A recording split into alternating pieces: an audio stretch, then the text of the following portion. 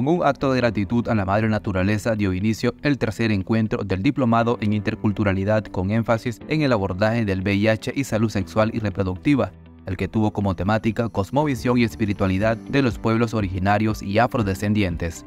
Este encuentro, este diálogo, eh, es propicia el enriquecimiento mutuo a partir del compartir de, saberes diferentes y eh, permite un abordaje más cercano al tema que nos ocupa, que es cómo abordar de manera intercultural eh, el problema del VIH y las infecciones de transmisión sexual en pueblos indígenas y afrodescendientes.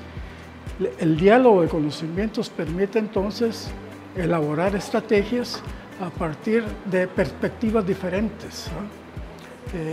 Desde el seno de las comunidades, desde el seno de las familias, como desde el sistema convencional de salud.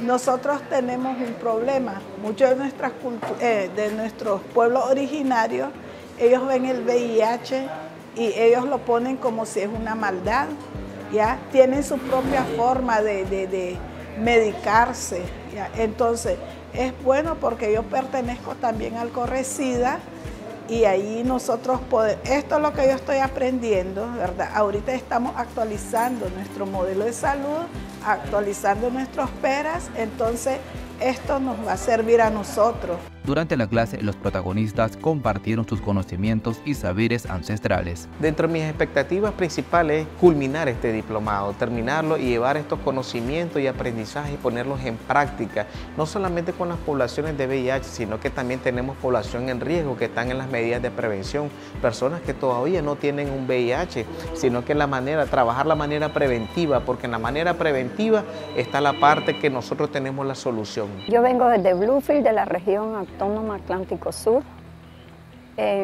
bueno, en mis expectativas me ha parecido bien este diplomado que vamos a ir, estos encuentros, pues que han sido para bien y el conocimiento de, otras este, em, etnias, tanto comunidades, y me ha parecido excelente.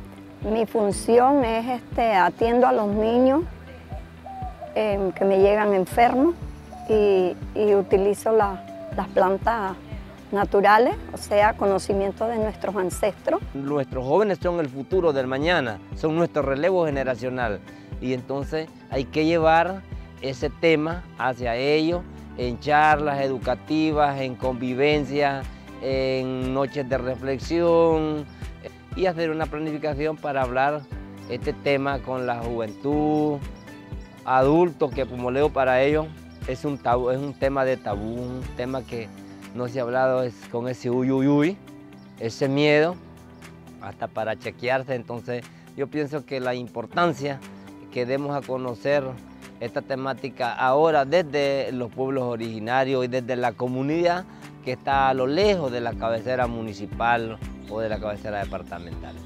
Este programa nace de la coordinación entre el Ministerio de Salud MINSA a través del Instituto de Medicina Natural y Terapias Complementarias y el CIES UNAM Managua.